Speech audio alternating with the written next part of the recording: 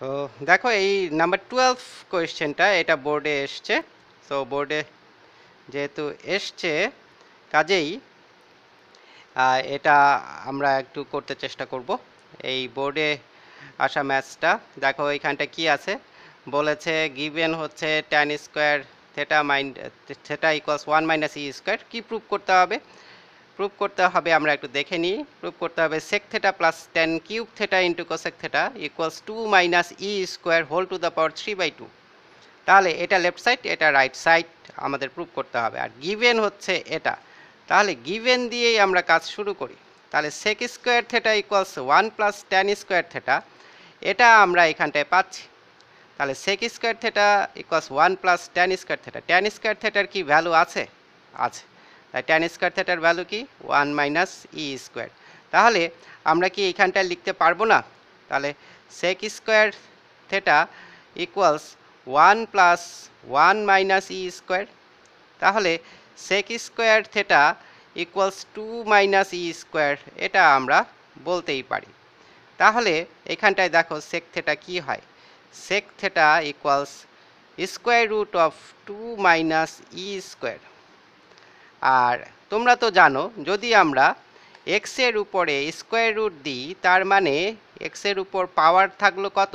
Half ঠিক আছে? তাহলে স্কোয়ার রুট মানে এটা হাফ পাওয়ার দেওয়া হচ্ছে। স্কোয়ার রুট মানে হচ্ছে পাওয়ার হচ্ছে হাফ এটা কিন্তু আমাদের মাথায় রাখতে হবে। তাহলে সেক থেটার ভ্যালু পেয়ে গেছি। এখন আমি রাইট লেফট সাইডে যাব। এই লেফট সাইড এখানে লিখাই আছে আমার। সো লেফট সাইডে যাচ্ছি। আমি সেক থেটার ভ্যালু এখানটায় ইচ্ছা করলে বসিয়ে দিতে পারি। কারণ সেক থেটার ভ্যালু আমি বের করেছি। এখন মেইনলি আমি এই যে লেফট সাইড যেটা আছে, সেটাকে একটু সিম্পলিফাই করার চেষ্টা করব আগে। তারপরে আমি ভ্যালু বসাবো। আগে ভাগেই ভ্যালু বসিয়ে দেওয়াটা ঠিক হবে না। তাহলে, দেখো এখানটায় লেফট সাইড আমার হচ্ছে sec theta plus tan cube theta tan থেটাকে আমরা কি? সাইন বাই কসে কনভার্ট করতে পারি। তাহলে এটা হচ্ছে sine cube theta divided by cos cube theta আর এখানটায় ইনটু আছে কোসেক থেটা কোসেক থেটা মানে হচ্ছে কি? One by sine theta one by sine theta তাহলে দেখো এখানটায় কি আসে? এখানটায় যদি কেটে দিই, তাহলে এখানটায় আসবে সাইন স্কোয়ার থেটা ঠিক আছে? এখন এটা গেল sec theta R sine square theta by cos cube theta তো এখন আমি যদি এই সেক থেকে আবার কস বের করতে যাই কস থেকে যদি আবার সাইন বের করতে চাই, তাহলে কিন্তু অনেক বেশি কমপ্লেক্সিটি ক্রিয়েট হবে। করা যাবে না কেন? করা যাবে। আমি এই সেক থেটা থেকে সেক থেটা মানে হচ্ছে ওয়ান বাই কস থেটা এখানে কস থেটার ভ্যালু বের করতে পারব। আবার sine square theta plus cos square theta equals one ওই ফর্মুলা দিয়ে আমি আবার সাইন থেটার ভ্যালুও বের করতে পারব। তারপরে এখানে বসিয়ে দিতে পারতাম। কিন্তু একটু কমপ্লেক্সিটিটা বেশি হয়ে যায়। তো কমপ্লেক্সিটি কমানোর জন্য আমরা কি করব? সেক এখানে যেহেতু সাইন কস আছে মানে একেবারে এলিমেন্টারি স্টেজে আমরা নিয়ে আসছি এটাকে। সো এটাকেও একটু এলিমেন্টারি স্টেজে নিয়ে আসে মানে সাইন কসে নিয়ে আসি। তো one by cos theta plus এখানটায় sine square theta by cos cube theta তাহলে ওয়ান বাই কস থেটা আমরা বোথ এক্সপ্রেশন থেকে আমরা কমন নিতে পারি। যদি কমন নিই, তাহলে এটা কি হয়? Sine square theta divided by যেহেতু কস থেটা কমন নিয়ে নিছি, তার মানে কি? কস থেটা দিয়ে one by cos theta common নিছি মানে কি? ওয়ান বাই কস থেটা দিয়ে ডিভাইড দিছি, তার মানে কি? একটা কস থেটা বাইরে চলে গেছে। তাহলে এখানে কি থাকবে? Sine square theta divided by cos square theta so তোমরা বুঝতেই পারছ sine square theta divided by cos square theta এখন, এই যে sine square theta by cos divided by cos square theta যে ট্যান স্কোয়ার থেটা এটাও তোমরা জানো। তাহলে তোমরা এটাকে ওয়ান বাই কস থেটাকে কি লেখা যায়? সেক থেটা লেখা যায় কি না এটাকে এর পরের লাইনে সেক থেটা লিখবা। এটাকে এর পরের লাইনে কি লিখবা? সেক থেটা আর এখানটায় থাকল কি? One plus tan square theta. One plus tan square theta কি? বলো কনভার্সনের ফর্মুলা পড়ছো কি না sec square theta minus tan square theta is equals 1 তাহলে এই one plus tan square theta কি? এই জায়গা থেকে তোমরা একটু বের করবা। বের করে এই জায়গায় বসাবা। বসালে দেখবা যে শুধু সেক ছাড়া আর কিছুই থাকছে না। তখন ওই সেক থেটার ভ্যালুটা ওই জায়গায় বসিয়ে দিয়ে তোমরা আমাকে এটা একটু প্রুভ করে কমপ্লিট করে একটু দেখাও। এটাও ক্লাস ওয়ার্ক থাকল। অবশ্যই দেখাতে হবে। না দেখালে সমস্যা হয়ে যাবে কিন্তু। আরেক টাইপের ম্যাচ আছে। এটা করলেই আজকে লাস্ট কারণ আমি তোমাদেরকে বেশি কষ্ট দিতে চাই না। সো এই যে এখানটায় সিক্সটিন নাম্বার ম্যাচটা এটা আমরা একটু করতে চাই। তো তোমাদের সিক্সটিন তো একটু বড় হয়ে যায় সিক্সটিনটা হোমওয়ার্ক থাকবে, কারণ এটা তোমরা ক্লাস নাইন টেনে করছ। তাহলে হোমওয়ার্ক আমি লিখে দিলাম। হোমওয়ার্ক হচ্ছে number sixteen of S U Ahmed book S U আহমেদের যে বুক আছে, সেই এসিউ আহমেদের বুকের নাম্বার সিক্সটিন হচ্ছে তোমাদের হোমওয়ার্ক তাহলে ক্লাসে কি করতে চাই এখন আমরা?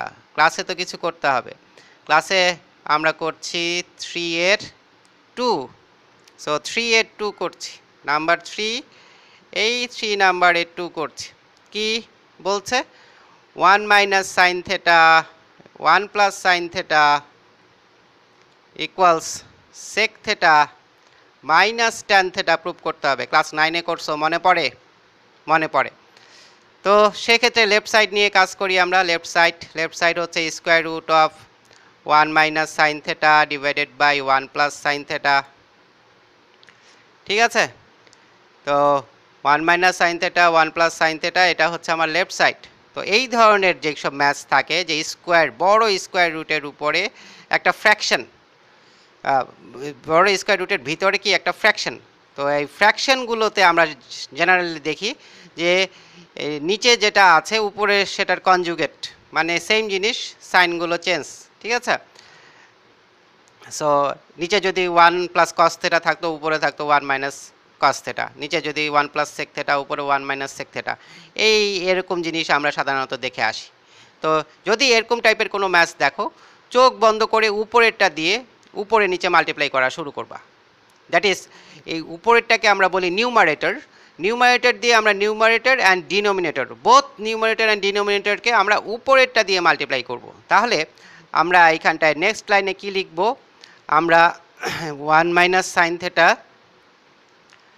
আর ওয়ান মাইনাস সাইন থেটা মানে উপরেরটা দিয়ে উপরটাকেও মাল্টিপ্লাই করছি। এই উপরেরটাকে দিয়ে নিচেরটাকেও মাল্টিপ্লাই করব। তাহলে ফ্র্যাকশনটা আনচেঞ্জ থাকল। সেম জিনিস দিয়ে ফ্র্যাকশনকে মাল্টিপ্লাই করলে এবং ডিভাইড করলে ফ্র্যাকশনটা কী থাকে? আনচেঞ্জড থাকে। কিন্তু এই জায়গায় আরেকটা ভুল হয়।